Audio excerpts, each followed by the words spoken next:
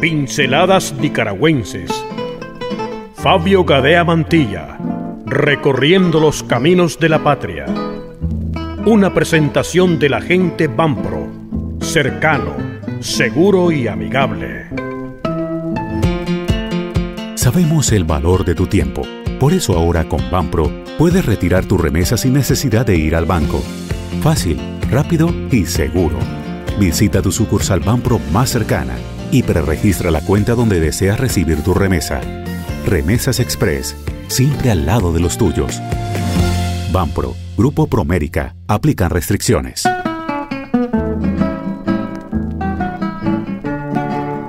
El aguacate, fruto maravilloso.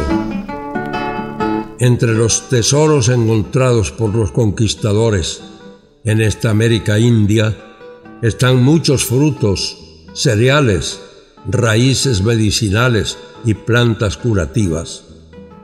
El maravilloso maíz, del cual ya hemos hablado antes, era considerado como divinidad entre los indígenas.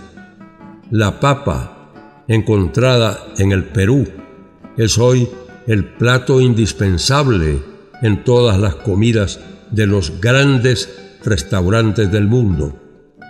Igualmente el aguacate, cuando está en tiempo de cosecha, es servido como entrada de lujo en los grandes restaurantes, tanto en Europa como en América, en París o Nueva York, también en otros continentes.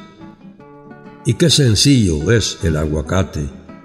Un árbol, como cualquier otro, un árbol con sus hojas de un verde natural un poco brillantes, un árbol humilde y sencillo, de tallo rugoso, en donde suben con facilidad los felinos. Un simple árbol, vulgar y común, como diría un pintoresco amigo que yo tengo, produce cada año un fruto maravilloso. El aguacate puede ser grande o pequeño y tiene distintas variedades. El mejor de ellos es el aguacate grande y de cáscara brillante, de un verde luminoso, eléctrico. Se corta del árbol cuando aún no ha madurado y se pone a madurar envuelto en papel o en trapo y guardado en los depósitos de la cocina. Se palpa con el pulgar cuando el aguacate está de punto y se puede comer. Hay que partirlo en dos y aparece entonces la pulpa en todo su esplendor. Una pulpa amarillenta, carne suave, un poco aceitosa, con sabor delicioso. En los grandes hoteles sirven un cóctel de aguacate con camarón o langosta de chuparse los dedos. También lo sirven rellenando con camarones y salsas el hueco que deja la semilla. Eso es en los grandes hoteles de lujo, en ese mundo inalcanzable, lleno de compromisos y carreras.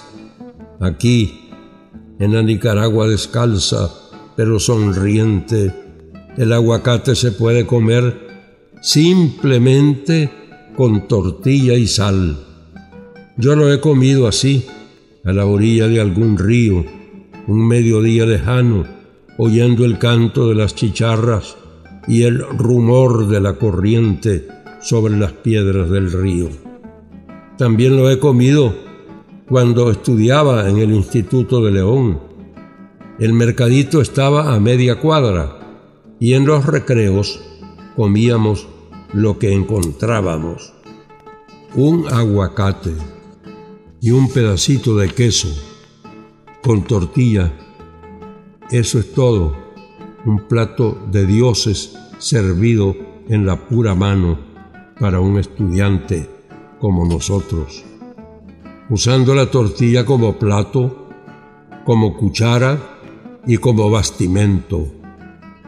Las propiedades vitamínicas del aguacate son enormes y su utilización como mascarilla para el cutis es altamente apreciada por las damas.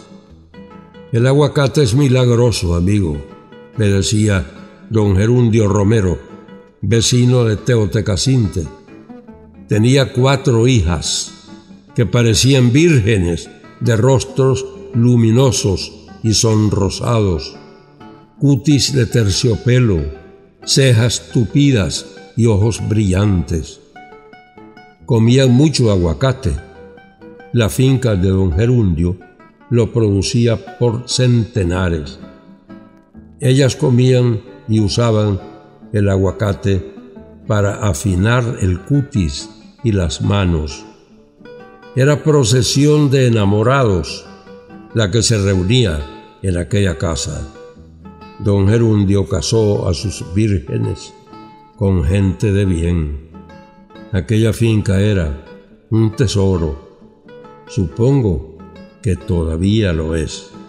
Les mando un saludo a todos ellos. Y recuerde, sembrar un árbol y otro y otro es querer a Nicaragua. Escuche Pinceladas Nicaragüenses de lunes a sábado a las 5 y a las 11 de la mañana, a las 6, 8 y 11 de la noche. Fabio Gadea Mantilla recorriendo los caminos de la patria.